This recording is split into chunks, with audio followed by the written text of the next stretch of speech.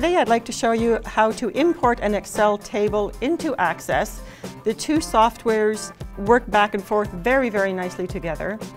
So we start, we have a blank database, and a database is simply like a filing cabinet. It's a holding place to put information that is related to each other. So we're going to come up to the External Data tab, and we're going to import an Excel table. And this is one of the wizards. It takes you through um, very nicely and you just point and click to the file that you want to import. We say open, it's going to import the source data into a new table into this current database. We go through a series of steps. The first one is just to identify that the top row in my table has column headings. So I say next. The field name, there's listing ID. Uh, there allows double data types. It's indexed, yes. We're just going to leave that there. Normally Access does a really good job on selecting what type of data goes in here.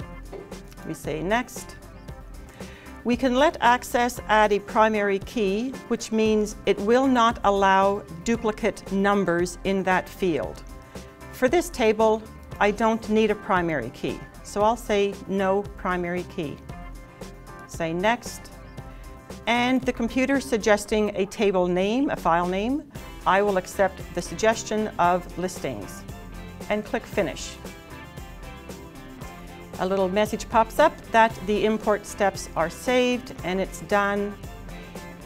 The new table appears on the left-hand side of the Access home screen.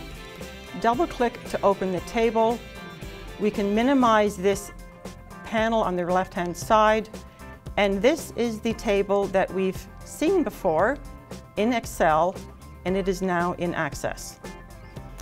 At this point, we want to put, if we were doing mailing, um, mailing list and doing labels, we would want to have the address, the city, the province, the postal code all together, and it appears this way. If we did not want a field for any specific reason, we could delete, select the field, the, do a right click, and you can simply delete that field. We'll leave them all there for now, because what I really want to show you is how to do a query and how to extract specific information from that table. I'll close the table. I will open up the panel on the left-hand side the listings table is still, still selected, it's highlighted. At this point, I want to create, up in the top tabs, create a query. A query is a question that you ask to the computer. The query has a wizard that works really, really well. So I'm going to do a simple query wizard. I say OK. This is the table that I'm going to use to pick, take all the information from. And I want to use all the fields.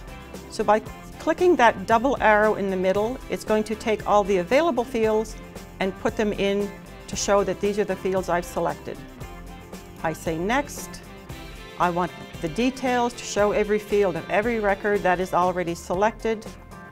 I say next. Again, the computer suggests a file name, listings query. It identifies the type of document that you have and click Finish. Nothing really looks any different from here. At this point, the only difference, it says it's a listings query. Now I have to go and put the commands in. What specifics do I want to see? Clicking on the Home button, I come into the design view of this query. Shrink down the left panel. At the bottom of the screen are all the fields that were listed in the table. And I don't want to see all the fields. This fourth line down says show. So what fields do I want to show? I don't want to see listings ID. Yes, I want to see district. I want address, city, province, postal code. I don't need category. I don't need the, all the rooms that are identified in that table the garage, fireplace. I'm going to leave the asking price and city evaluation, the owners and the sold fields showing. The agent ID field, I'm also going to hide. The criteria, what specifics do I want the computer to pull out? I want to see only the records for the properties that are sold. So in the criteria row at the bottom of your screen, we're going to type the word yes. That's a criteria. Yes, the properties are sold. Up in the top left-hand corner of the ribbon at the top, there's a little run button. looks like an exclamation mark. Click on that run, and your table that had umpteen dozen files to start with, your table now has 14 records. We see this number at the bottom of our screen, and the records that are showing are only those that are sold. So at this point, you can pretty it up, make everything legible, there's nothing worse than seeing a file that the content is half blocked. We can go and print preview that to see what it would look like on our page. And we can see that this is going to be showing on two pages. It's chopped off a little bit. So we do have the option at the ribbon at the top of changing it into landscape view. And it's still on two pages although there's not as much on the second page. So if you wanted this and really had to have this on one page, you would have to go in and change the margins through the page setup options. And the left and right, we don't have to worry about top and bottom. The left and right margins I'll put down to 10 and we'll see if that size works for us. And it does. So right now you could print that table. It's the extracted records for properties sold, and that's what you would use in your next job. So this is our query. We have extracted the files for the records that are sold from our master database table.